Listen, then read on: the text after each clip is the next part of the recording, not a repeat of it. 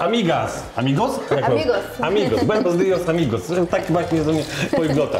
To jest po meksykańsku dzień dobry. Witam Państwa w kolejnym odcinku Liamo od kuchni. E, tym razem zupełnie inaczej, bo jak widzicie w innym anturażu. Po meksykańsku, bo dzisiaj kuchnia meksykańska e, w Uliamie, a z nami jest Izabel. E, Izabel, przedstaw się może, jak się nazywasz po Ja jestem Isabel Valderas, jestem Meksykanką, ale mieszkam tutaj w Polsce od 12 lat już. I przyjechałeś do Słupska e, uczyć trochę naszego kolega Daniela e, kuchni meksykańskiej. Dobrym jest uczniem? Bardzo dobry, bardzo dokładny. 3 plus, czy więcej? 5. O, proszę, mistrzu.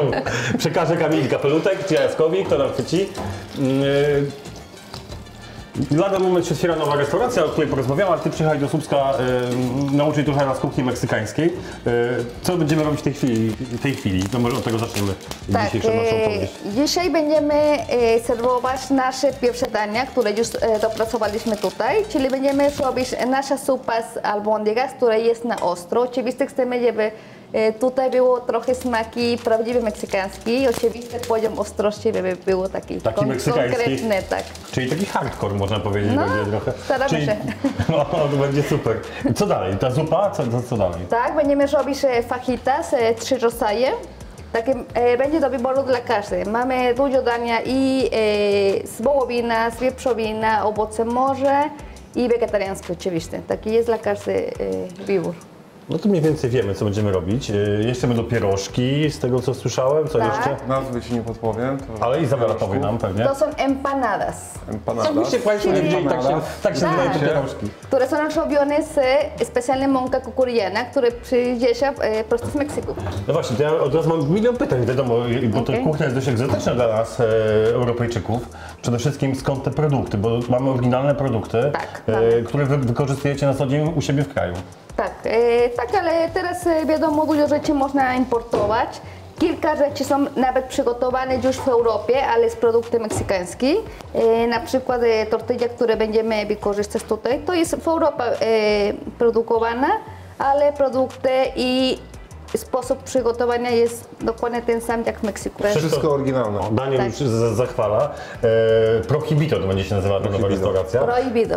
E, Powiedz Izabela, bo wiem, że przygotowałaś menu do Prohibito. Tak. E, Jak e, te menu wygląda? To, to- są rzeczy z tego menu, rozumiem. Tak, e, mamy od przystawki, e, gdzie będziemy przygotować własne nachosy, guacamole na przykład, e, ceviche. Do tego mamy dwa rodzaje salsy, kilka głównych dania. Oczywiście e, będą e, dania do podzielenia się, bo wiadomo jak w Meksyku wygląda, je, wszystko jest taki duża impreza, dużo ludzi się spotka, e, lubimy się bawić, to też ch- chcemy, żeby tutaj ludzie mogli e, na stole wszystkie się spotkać. Jak to wygląda, jakby zderzenie Meksyku z, Pola, z, Po- z Polską? Ty w Polsce już parę lat dobrych mieszkasz. Tak. Mówisz, Meksykanie lubią się bawić. My Polacy według Ciebie lubimy się bawić? Też, To, to dobrze. też, też, też. I bardzo dobrze się bawicie. Dobrze się bawimy. Tak. No to najważniejsze. Drodzy Państwo, Tak. my zaczynamy gotowanie. Mm, Potraw meksykański. Będę Was w trakcie podpytywał, trochę będę Wam przeszkadzał e, w przygotowaniu, jak ale zawsze. troszkę. Ale troszkę. To co, zaczynamy? Okej. Ta zupa się nazywa albondigas, czyli tutaj mamy taki e, pulpety mięsny, które my będziemy jeść w nasza zupa, a ta jest zupa robiona z papryka habanero, czyli to jest jedna z najbardziej ostre papryki. Generalnie jest najostrzejsza meksykańska. To nie jest najostrzejsza na świecie, ale jest bardzo, bardzo ostra.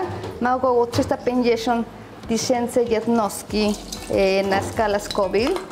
Także ta zupa będzie rozgrywająca trochę. A powiedz, jakbyśmy mieli scharakteryzować kuchnię meksykańską. Na pewno jest ostra kuchnia, ale jaka jeszcze? Mm, Jakie produkty to Świeża, są? świeża. Dużo mamy świeże warzywa, e, salsa mamy oczywiście dużo rodzajów. E, I tam idą dużo świeże, na przykład pomidory, na przykład e, jak mamy nasze burrito, to jest naprawdę kuchnia, która można sobie bardzo dobrze najeść. Mm, Jesteśmy w okresie świątecznym. E, Powiedz, co jecie na święta w Meksyku? W Meksyku przede wszystkim dużo mięsa. Takie Czyli nie ma to- jakichś postów, jak nie ma tutaj w postu, Polsce nie ma postu. My indyka przygotujemy, szynka marynujemy i pieczemy. E, Do tego na przykład e, buñuelos, które są takie placuszki pszenne smażone na, na oleju, chrupiące, to jest na słodko. Ponche, Czyli tak samo punch jak tutaj, tylko e, my mamy meksykańskie owoce, które tutaj nie ma. Do naszej punch idzie na przykład ława, trzcina cukrowa. A tutaj się też zaczyna dziać żonami. Ja do fachity robię. Podkład do fachity. Podkład do fachity. Tak. E, papryka, taka, to jest właśnie taka meksykańska papryka, czy taka może być każda? To, je, to możemy jest to e, użyć. zwykła papryka, tak. To akurat jest Czyli e, taką, na którą fajne. możemy kupić na przykład w markecie jakimkolwiek i, Tak, tak, tak, tak. czy w warzywniaczku. Mamy pierożki empanadas mięsne. Te mięsne są bardzo ciekawe. Jest- Muszę odpowiadać. Bo opowiadaj. W ogóle pierogi są, wi- wi- wiadomo, my, my e, Słowianie jesteśmy fanami pierogów. Tak. Widzę, że Meksykanie też. Też, też. Pierogi chyba każda kuchnia ma, tylko ciekawość w nasze pierogi to jest e, przede wszystkim co nasz robione jest masa kukurydziana. E, Nie ma pszenica, są Czyli bezglutenowe, tak? Pokażemy w środku. I w środku jest robione z kurczakiem, ale sos do kurczaka jest sos, który my robimy z różne papryki suszone, jak tutaj. To jest meksykański. To jest suszona? To jest suszona meksykańska, e, papryka pasilla. I czekolada. To jest, Niesamowite. to jest sos do zdrowiu. To jest czekoladą, bardzo, bardzo inny I to jest smak. czekolada na słodko? Nie znamy na. Nie, na, na to jest ostro, tak?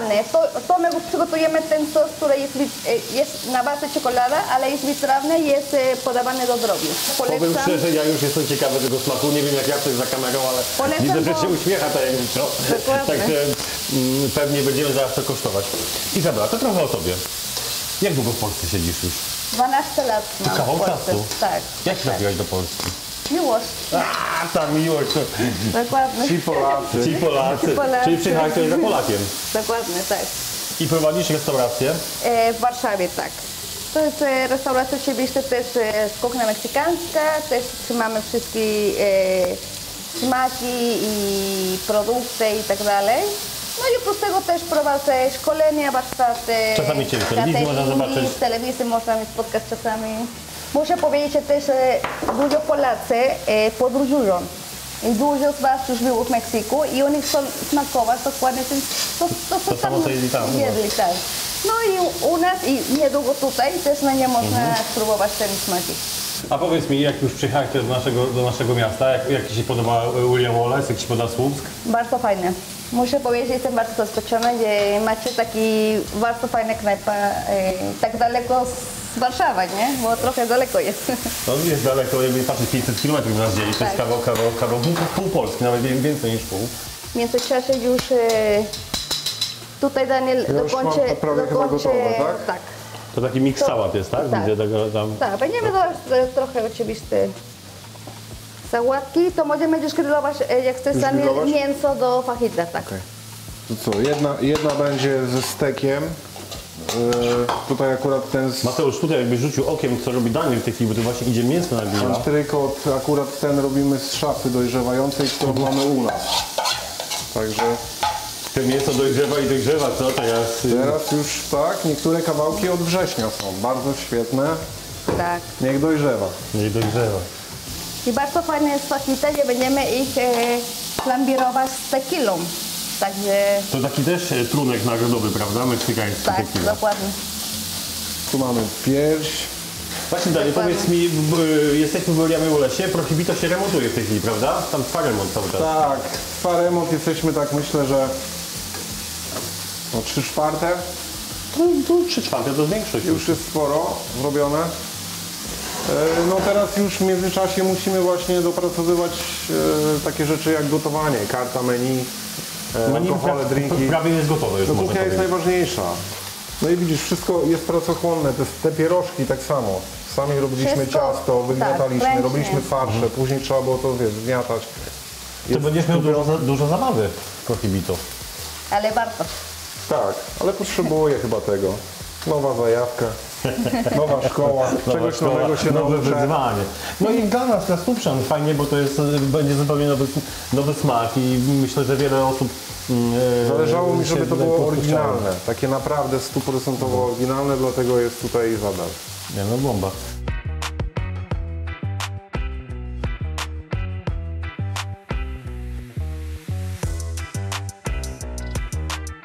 Nie kręć tego.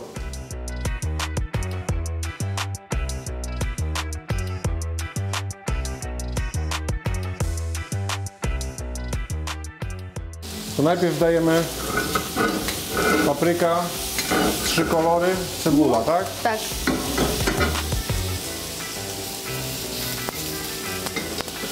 To musi być mocno rozgrzane, widzę.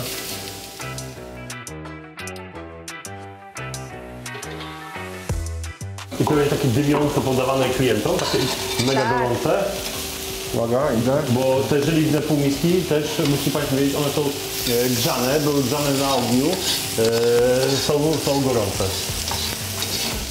No, oczywiście pachnie tymi wszystkimi e, papryką, taką lekko skarmelizowaną na tym grillu, e, cebulką, no i ziołami, bo te wszystkie mm, mięsa e, są e, marynowane od dłuższego czasu, znaczy w sensie od kilku godzin. To jest fla- flambirowane, tak? To, to, to, Flambirowane, tak. Widzicie, widzicie Państwo, nawet ja wiedziałem, także jest nieźle. Będziemy to Będziemy flambirować. używać tequila. Też taki narodowy trunek e, meksykański, mm, bardzo ładnie pachnie. pachnie Ja lewam i ty tam? Okej. Dobra. Od razu. Tak, od razu. Poszło.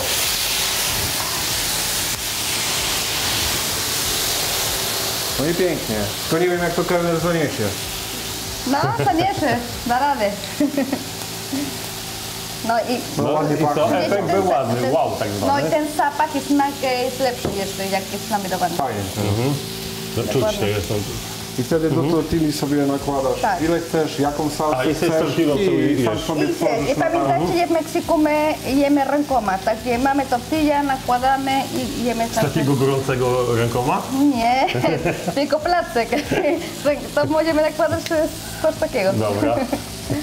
Okej, to już, już wiem. Dobra, to teraz możemy zrobić burrito, ok? Burrito. Tak, już tylko grilla sobie oczyszczę. Tutaj mi operator. Mateusz etap czyszczenia musi ograć. Dla, dla, dla laików. Tak, to jest taki... Większość z nas słyszała przynajmniej. Słuchajcie, ja zawsze mówię burrito i taco w Meksyku jest jak la Polacy kanapka. Masz bułkę i do środka dajesz cokolwiek chcesz. Wiadomo, nie mamy klasyczne burrito, klasyczne tacosy, ale generalnie e, my możemy dać do wszystko. Wiadomo, jemy dajemy dania meksykańskie, dlatego będziemy dać pasta fasolowa, ser, e, też będziemy grillować e, e, trochę kurczaka, mamy nasza wołowina, mamy wegetariański z. Czy też będzie wersja wegetariańska? Oczywiście, tak.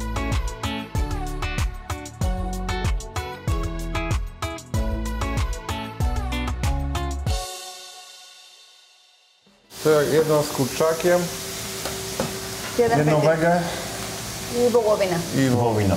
E, ryż jest do, do każdego tego burrito, czy tylko do, do Tak. wege? Do każdego. Baza mamy taka sama, mamy pasta fasolowa, mamy ryż i mamy e, jeszcze nasze farsze różne. Mamy albo kurczak, wołowina, e, wegetariański z cieczeриca, chili sin carne. Bardzo ciekawe. To, to jest to wegetariańskie. To jest wegetariański, tak.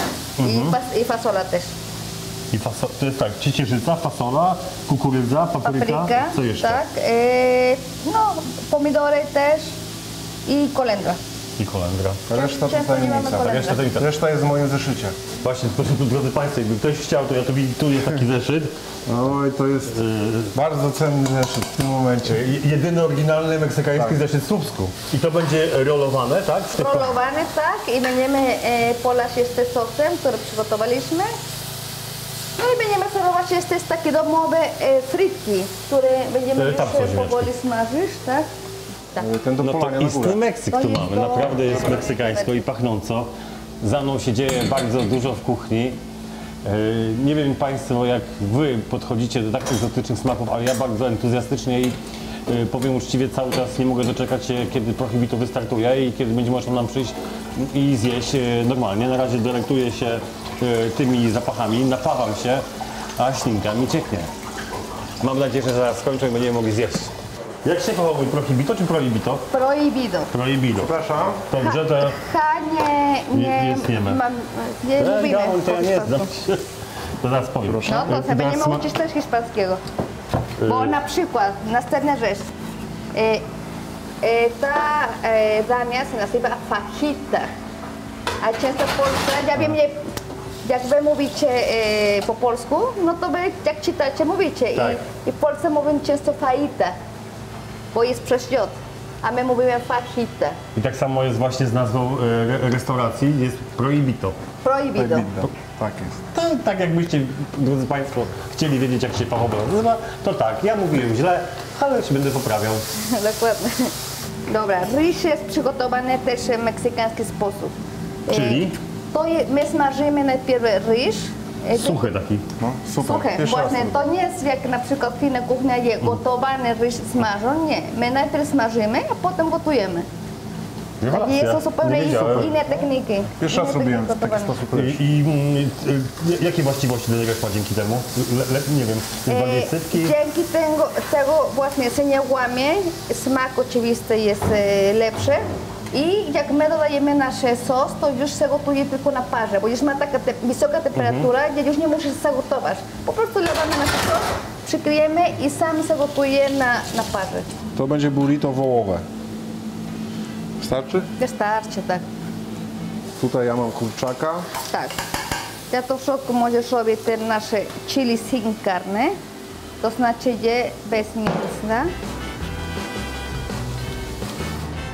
Teraz zobaczymy, czy ten uczeń na 5 potrafi zawijać burrito. Raz robiłem. Dobra, słuchajcie. To jak zawiniesz, to dostaniesz szóstkę. Tak, najpierw boki, Tak. Jak krokieta. Próbujemy. Dokładnie. Jak łąki. No, I teraz grillujemy z powrotem. No, możemy na chwilkę jeszcze y, grillować tutaj. Czyli to jeszcze raz trafia na, Tak. na, na płytę. Wołowina. No, przekroimy. Tak. Sos się grzeje. Sos piekielnie ostry, czy taki... y, Nie, to akurat nie jest aż tak ostre. To jest... nie jest tak ostry na Tak, pewno. nie. Też muszą być dania neutralne, tak? Nie możemy całej kuchni zrobić mega ostrej, bo No mamy trochę inne podniebienia jednak, jakby nie patrzeć. Frytki też jest e, nasza robota, także fryteczki są super. nie będzie nic, nic mrożone, nic. Fajnie pachnie ten sos.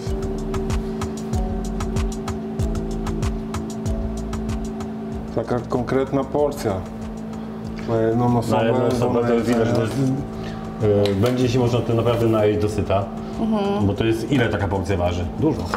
No ponad e, pół 300, kilo? około, nie, około 300 gram myślę, nie? Sam bur, e, sama burrito. Sama tortilla, może Tak. tak. Czyli to No, ale wiadomo, dodatkowo jest idzie e, dodatki frytki, są różne, tak. tak? To jeszcze Ci pokażę na przykład następna ciekawostka. Kaktus, To, to ja tutaj paluchem sobie go dziabnę. oczywiście. Drodzy Państwo, To jest kaktus. oponcie. No, Każdy sobie znajdzie coś dla siebie. I głodny, mniej głodny. Przekąski będą w następnym odcinku. Koktajle jeszcze do tego. Rewelacja. Słuchajcie, drodzy Państwo, jeżeli będzie wszystko wróci do normy, oby jak najszybciej, Daniel skończy remont, to takie spe- specjały będzie można spływać e, w Słupsku. Izabel je firmuje e, swoją osobą. E, gdzie ten Daniel uciekł? Tak, jestem. Jesteś. Czyli co, możemy powiedzieć wprost, prawdziwa meksykańska kuchnia, tylko firmowana przez Williama Wallace'a w mieście. Tak, jak najbardziej tak.